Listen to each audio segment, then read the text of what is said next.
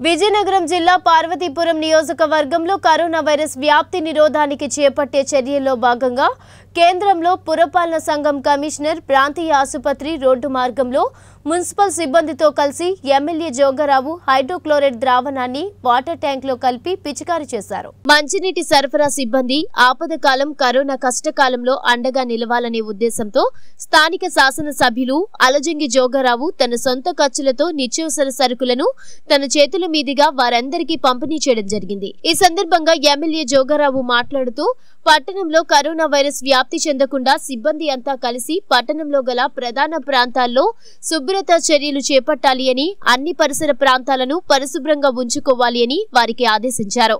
ఈరోజు పార్వతీపురం మున్సిపాలిటీ పరిధిలో ఉన్న హాస్పిటల్ ప్రాంతంలో దాని సరౌండింగ్స్లో ఉన్న గవర్నమెంట్ ఆఫీస్ అన్నిటికి కలిపి హైడ్రోక్లోరైడ్ ప్రొఫార్మాన్ని కలిపి ఇందులో కలిపిన తర్వాత మంచినీటిలో కలిపిన తర్వాత అది ఆ స్ప్రే చేయడం జరిగింది. మరి ముఖ్యంగా పార్వతీపురంలో ఉండే మంచినీటి సరఫరా విభాగంలో ఉండే వర్కర్స్ మున్సిపల్ కమిషనర్ గారి ఆధ్వర్యంలో ఈ కార్యక్రమం ఈ ప్రాంతంలో చేయడం జరిగింది. ప్రతి ప్రాంతంలో కూడా శుభ్రంగా ఉండాలి. పరిసరాలు బ్యా ఈ వైరస్ని చంపేటట్టుగా ఉండాలనే ఆలోచనతో ఈ కార్యక్రమం చేస్తున్నాం. మరి ముఖ్యంగా ఈ వ్యాధి అనేది కంట్రోల్ అవ్వాలంటే కేవలం సామాజిక దూరం వల్ల తప్ప వేరే మార్గం లేదని అలాగే పరిసరాలు శుభ్రంగా ఉంటే తప్ప ఈ వైరస్ అనేది ఎక్స్టెండ్ అవ్వదు కాబట్టి ఈ కార్యక్రమం చేయడం మొదలెట్టాం.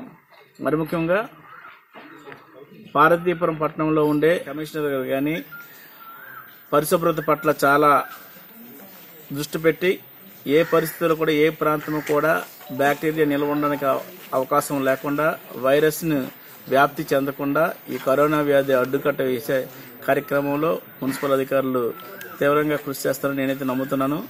ఈ ప్రాంతం బాగుండాలన్నా పార్వతీపురం అనేది ఆరోగ్యవంతంగా ఉండాలన్నా మనందరము సమిష్టిగా కృషి చేస్తే తప్ప ఇంట్లోనే ఉండి ఆరోగ్యంగా ఉండాలనే ఒక ఆలోచనతో పారదీపురం పట్టణ ప్రధానికానికి పారదీపురం నియోజక ప్రధానికానికి అందరికీ చేతులెత్తి మొక్కుతున్నాం.